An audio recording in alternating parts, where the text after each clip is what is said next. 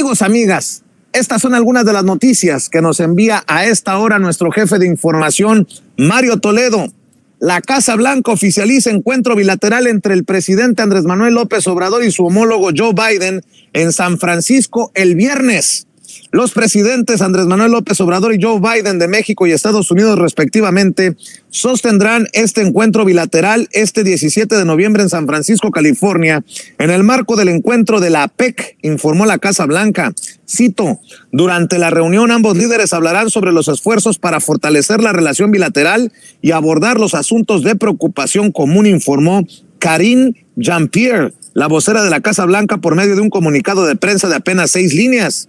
Biden viaja desde hoy a San Francisco, en donde será el anfitrión del encuentro de la Asociación de Cooperación Asia-Pacífico, APEC, por sus siglas en inglés, de la cual la Casa Blanca ha destacado la sesión bilateral del mandatario estadounidense con su homólogo de China, Xi Jinping. Los presidentes Biden y López Obrador también hablarán sobre cómo continuar trabajando juntos y como socios para manejar la migración en la frontera común y movilizar una respuesta hemisférica a este reto, concluye el escueto comunicado de prensa de Jean-Pierre. También le quiero informar que el presidente Andrés Manuel López Obrador le ha agradecido a Marcelo Ebrard por quedarse en Morena. El presidente en su recorrido por Sonora se pronunció sobre este hecho que nosotros demostrábamos en Sin Censura en vivo y en directo la decisión de Marcelo Ebrard y sus aliados de permanecer en la cuarta transformación. Marcelo ha demostrado ser un hombre responsable y consecuente, dijo el presidente. También en la mañanera el presidente Andrés Manuel López Obrador celebró la decisión que tomó Marcelo Ebrard de quedarse en Morena pese a que desconoció el método de selección de la candidatura presidencial, el cual arrojó como ganadora a Claudia Sheinbaum. Consecuente es que en esto, por legítimo que sea el interés personal, siempre tiene que ponerse por delante el interés del pueblo, el interés de la nación, dijo en la conferencia matutina el presidente Andrés Manuel López Obrador, porque destacó que la política es servicio y un apostolado, no es una actividad lucrativa, es una actividad humana para apoyar al prójimo. Si no se le tiene amor al pueblo, no se es político.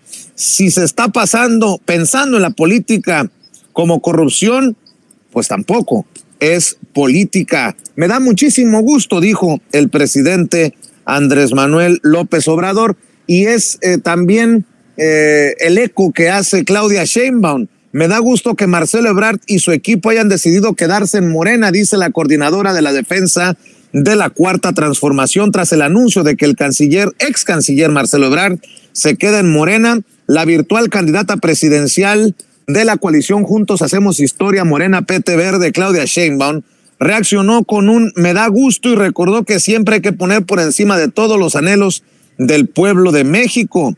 Al mediodía de ayer, después de la conferencia del que fuera su competidor por el bastón de mando, la ex jefa de gobierno escribió este mensaje en la cuenta X en Twitter.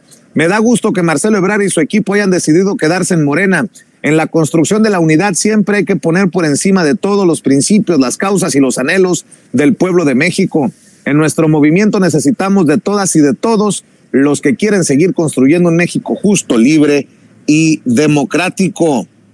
Marcelo, Marcelo Ebrard ya piensa en el 2030, pero dice Noroña, por cierto, le mandé un mensaje al diputado a ver si nos acepta una entrevista, debe verse en el espejo de Monreal le tira con todo Gerardo Fernández Noroña a Marcelo Ebrard, quien dice se empequeñeció.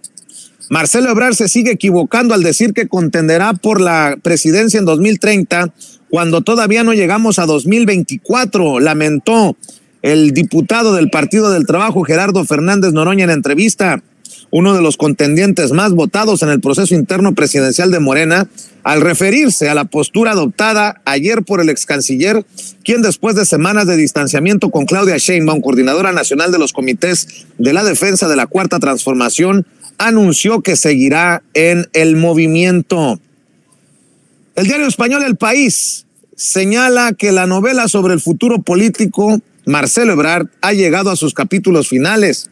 Después de meses de rumores y desmentidos, el ex canciller ha decidido que se quedará en Morena. Ni voy a cambiar mis, mis convicciones, ni voy a cambiar de partido, ni voy a dejar de luchar por lo que creo, anunció el político de 64 años tras llegar a un acuerdo con Claudia Sheinbaum, la carta fuerte, dicen, de esta coalición. Juntos hacemos historia rumbo al 2024 para convertirse en la primera mujer presidenta de nuestro país. Déjeme.